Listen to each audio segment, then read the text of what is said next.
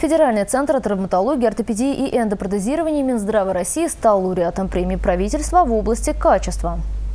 Награды лауреатам вручил Дмитрий Медведев. Победителями стали 10 предприятий страны, работающих в разных отраслях экономики. Коллектив Чебоксарского федерального центра стал лучшим в оказании высокотехнологической медицинской помощи. Всем научным идеям здесь быстро находят практическое применение. Молодые врачи порой творят чудеса, поднимая на ноги в прямом и переносном смысле тяжело больных людей. Многие из них долгое время были прикованы к постелям и инвалидным коляскам. Благодаря новым технологиям в области ортопедии и нейрохирургии пациенты приобретают новое качество жизни.